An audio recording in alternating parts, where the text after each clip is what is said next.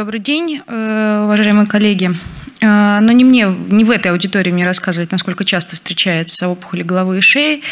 И поднимая э, и отечественную, и зарубежную литературу, мы сталкиваемся, что от 30 до 50 процентов, процентов пациентов имеет признаки алиментарной недостаточности. Некоторые даже говорят, что до 80 процентов пациентов нуждаются в нутритивной поддержке. Э, соответственно, совершенно логично, что до начала лечения должен быть оценен нутритивный статус каждого пациента, и э, у пациентов со значительной алиментарной недостаточностью э, логично обеспечить интеральный путь питания. А, ну, на каких пациентов в первую очередь стоит обратить внимание для формирования либо э, гастростом, либо э, на э, заведение назогастральных зондов? Это локализация в нижних опухолей в нижних отделах глотки, это продвинутый тест-статус опухоли Т4, они практически все нуждаются в нутритивной поддержке. Женский возраст, как ни странно, и, естественно, планируемое химиолучевое лечение, потому что часто возникает мукозиты, которые не позволяют человеку принимать пищу через рот. Э, как мы можем помочь этим пациентам? Ну, конечно, самый удобный, э, дешевый и везде выполняемый способ – это установка назогастрального зонда. Но э, Логично это делать, когда нутритивная поддержка будет менее чем 4 э, недели проходить. Если больше, то нужно, конечно, возвращаться к гастростому. Если э, надо не забывать, что у пациентов э, с назогастральным зондом, конечно, страдает качество жизни, потому что это очень неудобно, они стесняются его, им не выйти никуда. Гастростомы здесь, конечно, предпочтительнее. Из гастростом мы можем выбрать хирургическую гастростому и эндоскопическую гастростому. Ну, эндоскопическая гастростома хороша всем, кроме, наверное, цены и логистики. Потому что э, у нас никто не считает э, койко-день, у нас не принято в нашей стране считать, что хирургическая гастростома дороже, чем эндоскопическая выходит для, э, по оплатам. Э, но ее можно сделать в любом экстренном стационаре. Э, и это, конечно, большой ее плюс. А, минус в том, что закрывать ее нужно хирургически, то есть это еще дополнительное вмешательство для пациента. И, конечно, качество жизни и ухода за этой гастростомой проигрывает эндоскопической в разы, потому что это либо катетер фолея, либо катетер Петцера. Как правило, они протекают, как правило, пациенты сталкиваются с муцерированием кожи вокруг, и это для них большая поддержка, э, большая проблема. Но сделать это можно везде и зачастую всегда. Что касается эндоскопических гастростом, эта ситуация логистически сложная. Почему? Потому что все мы живем в реалиях госпитализаций, и сделать ее можно только в госпитализацию. Положить для гастростома не всегда э, удается, но э, если есть возможность делать эндоскопическую гастростому, лучше делать гастростому эндоскопически. Э, ну, что нам говорят гайдлайны по поводу вообще, в принципе, нутритивной поддержки пациентов с опухолью головы и шеи? SG эм, рекомендует использовать назогастральный зонд или эм, гастростому для энтерального питания. К слову, хирургические гастростомы, в принципе, не звучат в этом гайдлайне. Для энтерального питания пациентов, требующих химолучевую терапию, имеющим дисфагию и значительную потерю веса. ЕЖ предлагает профилактическую установку гастростом пациентам, требующим лечения с опухолью головы и шеи, требующим химолучевую терапию, если имеется фактор риска, предполагающий длительное зондовое питание более 4 недель, такие как потеря веса перед лечением, преклонный возраст, локализация опухоли и высокие дозы облучения, в том числе билатеральное облучение. И ESG предлагает push-pack гастростомы э, с опухолями головы и шеи для пациентов с опухолями головы и шеи, чтобы снизить риски обсеменения опухолями клетками. Я чуть позже остановлюсь на этом. А, ну, когда устанавливать гастростому? Э, логично устанавливать их при исходной гипотрофии за 7 суток до начала лечения, а при удовлетворительном нутитивном статусе в первые дни лечения. Э, затягивать с этим не стоит, потому что это создает э, далее свои проблемы, потому что пациентам с мукозитами, конечно, выполнять э, все эндоскопические гастростомы устанавливаются так или иначе при эндоскопической поддержке, выполнять им гастроскопию, конечно, менее приятно, чем пациентам до начала лечения. Когда с этими гастростомами можно расставаться и закрывать их? В стабилизацию увеличения веса, нормализацию уровня белка и отсутствие анемии у пациентов. А, ну, что касается противопоказаний к формированию э, эндоскопических гастростом, их, их немного, если в целом посмотреть, потому что они все абсолютно логичные. Это нарушение свертываемости крови, это гемодинамическая нестабильность, сепсис, напряженный асцит, перитонит, естественная инфекция брюшной стенки в выбранном месте формирования гастростомы, гастроктомия в анамнезе, что вполне логично, и обструкция выходного отдела желудка, что тоже, наверное, логично. А, По поводу эндоскопических гастростом. Два типа гастростом мы имеем в своем арсенале. К слову, мы пользуемся гастростомами уже очень давно, и мы очень довольны гастростомами фирмы Кимберли Кларк. Это не реклама, это действительно очень удобные наборы, которые в своем наборе содержат все, что нужно для установления гастростома, ну, кроме эндоскопа, наверное мы имеем пуш-гастростомы и пул-гастростомы. Я остановлюсь сначала на пуш-гастростомах, потому что мы их меньше любим, и я сейчас объясню, почему.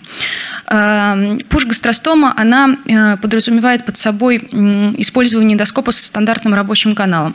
Э, все эндоскопы со стандартным каналом начинаются, начинают свой наружный диаметр от 8,9 мм. И, соответственно, не всем пациентам с опухолями головы и шеи исходно можно эти э, гастроскопы провести для контроля, э, для контроля и для выполнения гастростомии. Как они выполняются? Выполняется пункт на раздутом желудке, выполняется пункция тракаром. Через, через тракар проводится гибкий проводник, он захватывается петлей, ретроградно обратно выводятся в ротовую полость, и через ротовую полость, вот почему э, это пулгостростома, они вводятся в стенку желудка. Э, и, честно говоря, эндоскопи... Э, с эндоскопической точки зрения и вообще логично, это очень похоже на катетер Петцера, просто более аккуратный. А, почему мы их еще меньше любим? А, потому что все эти э, пулгастростомы, они длинные, и они, э, пациенту нужно ухаживать за ними, их нужно подклеивать, э, как-то прилаживать к их одежде. Это не очень удобно с точки зрения качества жизни. Но самый большой их минус в том, что если поднять литературные данные, и вообще все данные о пуш и пулгастростомах, они являются возможными источниками обсеменения заполнение эм, опухолевыми клетками э, путей проведения этой гастростомы и стомических отверстий. Это, конечно, очень обидно после наложения гастростомы иметь э, перистомические рецидивы. Э, в нашей практике чаще у пациентов с опухолями головы и шеи мы пользуем я, извините, перепутала, там пуш, здесь пулгастростома. Пуш-гастростомы – это якорная э, гастропексия. Э, мы заходим в желудок любым эндоскопом, любой, э, любой, любым диаметром, потому что нам совершенно не нужен рабочий канал. У нас гастроскоп только для контроля проведения тракаров и для раздувания желудка используется. Соответственно, мы можем брать эндоскопы самые тонкие, это гастроскопы 5-миллиметровые, они по диаметру похожи на бронхоскопы, любому пациенту можно их провести. Э, также эти гастростомы, в принципе, можно эм, выполнять и под рентген-контролем, но э, если брать э, количество осложнений, под рентген-контролем их в разы больше, поэтому мы их делаем эндоскопически. Просвет желудка по передней, брюшной, э, по передней стенке э, тела желудка в нижней трети, там, где э, более плотно прилегает желудок к передней брюшной стенке, выполняется три фиксирующих вот этих вот пиксийных якоря. По тракару проводится проводник, по проводнику выполняется бужирование до бужа третьего, самого широкого – и по этому бужу проводится, э, в чем плюс этих гастростом? По этому бужу можно провести не только э, трубку для питания, например, которую нужно поставить не просто в желудок, а, например, в тонкую кишку, потому что часто эти пациенты, которые имеют рефлюксы, но и можно поставить низкопрофильную короткую гастростому, которая не нуждается в, которая незаметна на передней брюшной стенке, я потом покажу ее. Пациенту не нужно за ней ухаживать, и когда э, он принимает пищу, он прикручивает к ней определенную трубку, трубку, которая с ней, к ней фиксируется, через нее проводится пища. Как только питание закончилось, она откручивается, гастростома закрывается, ее не видно, э, косметически ее практически не видно. Вот мы проводим последний тракар. А здесь нельзя промотать, да, мне никак? Я правильно понимаю? Да. Проводится последний тракар – после этого проводится эм, специальный измерительный баллон, который замеряет э, толщину передней брюшной стенки для того, чтобы наложить гастростому максимально подходящую для пациента. Э, мы выбираем низкопрофильные гастростомы, на, как правило, на 5 мм толще, чем, длиннее, точнее, чем передняя, толщина передней брюшной стенки, для того, чтобы за ними можно было нормально ухаживать, и для того, чтобы их можно было в первую неделю перевязывать. И устанавливаем Далее опять вот этот буш как направляющий, по которому и устанавливается э, низкопрофильная гастростома.